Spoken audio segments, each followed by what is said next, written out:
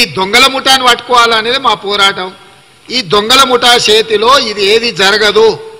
ఇవాళ చైర్మన్ నుంచి మొదలు పెడితే కమిషన్ సభ్యుల వరకు అందరి మీద ఆరోపణలు ఉన్నాయి. ఎవరిని ఎత్తికినా కూడా మూలాలు ప్రగతి భవన్లోనే తేలుతున్నాయి. లింగారెడ్డికి నోటీస్ ఇచ్చారు. లింగారెడ్డి బావమాటి రాజశేఖర్ రెడ్డి సీఎం పేషీలో ఎంత ముఖ్యమైన అధికారం?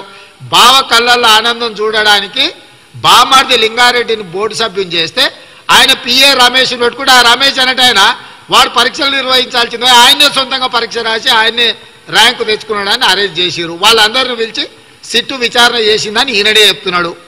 ఇవాళ విచారణను ఎదుర్కొంటున్న public service commission chairman Janardhan Reddy secretary Anita Ramachandran section of confidential section officer Srilakshmi Shankaralakshmi మొత్తం అందరు విచారణ ఎదుర్కొంటున్న వాళ్ళు బోర్డు సభ్యుడు లింగారెడ్డి వీళ్ళందరూ విచారణను ఎదుర్కొంటున్నారు. మళ్ళీ వాళ్ళ నేతృత్వంలోనే మళ్ళీ పరీక్షలు నిర్వహిస్తానని కేసీఆర్ అంటున్నాడు. ఎవరైతే విచారణను ఎదుర్కొంటున్నారో అదే కమిషన్ని కంటిన్యూ చేసుకుంటా పరీక్షలు నిర్వహిస్తామంటే ప్రజలకు విశ్వాసం ఉంటుందా?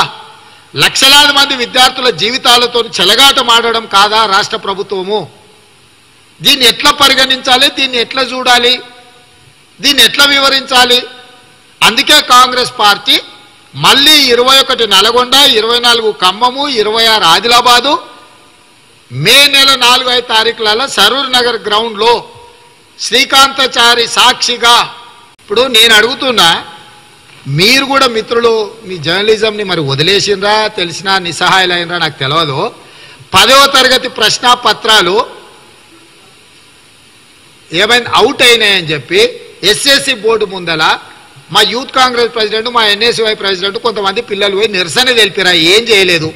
వాళ్ళని అరెస్ట్ చేసి జైలు తోలితే ఐదు రోజులు పట్టింది బెయిలు. అదే బండి సంజయ్ పరీక్షల నుంచి ప్రశ్నపత్రం తెచ్చి అందరికి వంచి పెడితే one twenty B four twenty ఏంటి ఏంటివో రాసిరు రాత్రి పోయిన అత్తగారింటికి పోయినట్టు పొద్దున్నే బయటకు వచ్చింది ఎట్లా బెయిల్ వస్తుందబ్బా మీరు చెప్పండి. ఎస్ఎస్సి బోర్డు ముందల నిరసన తెలిపిన NSUI president youth Congress president మా పిల్లలు ఐదు రోజులు చెంచల్గూడ జైల్లో మగ్గినరు ఏది నిరసన తెలిపినందుకే. కానీ ప్రశ్నాపత్రాలను బయట అమ్మిండని మళ్ళీ పెద్ద పెద్ద సెక్షన్లు పెట్టిండు. ఇంత ఇంత పొడుగు one twenty B four twenty అని ఏంటో రాసిండు. నోరు తిరగని సెక్షన్లు అని కానీ రాత్రి పోయిండు జైల్లో వండుకుండు కరీంనగర్లో. పొద్దున్నే లేచి బయటకు వచ్చిన దానికి పెద్ద ర్యాలీ. దీన్ని రాష్ట్ర కేంద్ర ప్రభుత్వాలు గూడుపుట అని మీకు అర్థమైతలేదా? నిరసన తెలిపిన పిల్లలేమో ఐదేళ్ళు జై- ఐదు రోజులు జైల్లో ఉంటారు. పేపర్లు అమ్మిండని ఆరోపణలు ఎదుర్కొన్నాడు. రాత్రి వైపు పొద్దుగాలు వచ్చిండు. మళ్ళీ సెక్షన్లు కూడా పెద్ద పెద్దవి పెట్టారు ఎనిమిది సెక్షన్లు ఏటో ఇక ఎటో పెట్టిండు. One twenty B four twenty అయితే మనకు తెలిసిందే కదా. పోయిన ఆయన ఫోర్ ట్వంటీ ఉన్నాడు పెట్టిన ఆయన ఫోర్ ట్వంటీ ఉన్నాడు. ఇక వ్యాపార దాంట్లో రాత్రి వేరు పొద్దుగాల బయటకు వచ్చారు